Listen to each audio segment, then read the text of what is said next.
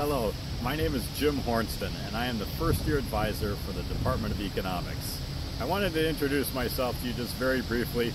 I'm out here on the Lakefill uh, because I think it's a, a, neat way of capturing the essence of what first year advising is all about. Uh, for example, behind me is the Kellogg Global Hub. Uh, this is the home for the economics department. Uh, so that's where I live and my colleagues and, and we can give you lots of advice about economics courses to take. Uh, but there's so much more than just that, right? So from this perspective, you can look around. You can see the uh, the Bienen School, right? So we have musicians here. You can see the athletic facilities. We have uh, uh, athletes here, right? You can see the lake, the great unknown, right? Lots of mysteries out there. Uh, you can see all the rocks and all sorts of people in hammocks, right? All sorts of people uh, with interesting backgrounds, with all sorts of different aspirations. Um, and so when you come in for advising, we sit down and we try to figure out, okay, well, who are you and what's your background and what do you want to do? What do you want to be when you grow up?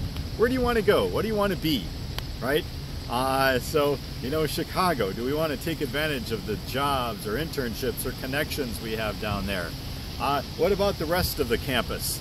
Uh, uh would it be good for you to, uh, to do some sort of complementary program? So maybe you want to do business institutions or a Kellogg certificate or you want to double major with, with math or computer science or statistics or classics or anything across the university, right?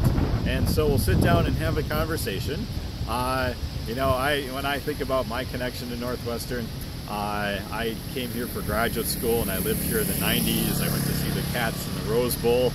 Uh, before that, I was a small town kid from Minnesota. I remember some lean times growing up. Uh, but I ended up going to college. I was a runner back then, and I started off. Let's see, I had a I, I had a scholarship through chemistry, and I started doing physics, but then I changed to math, and then I was running, but I had a bunch of stress fractures, so I I read through the catalog, and I thought that economics sounded the most interesting, so I I declared an econ double major with with math, and sort of went from there, and ultimately ended up here. So let's let's get you to the places that you want to go right? And, and uh, we'll try to give you the best advice we can. So again, I'm Jim Hornsten. Uh, we hope you'll come in.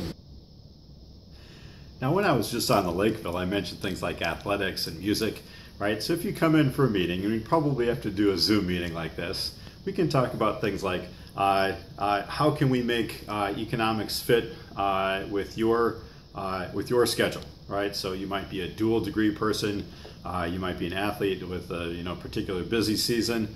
Uh, you might have lots of uh, extracurriculars or activities, and uh, one thing nice about economics is that uh, it's a very flexible major. You can take a lot of courses in a lot of different orders, and we can talk about things like that.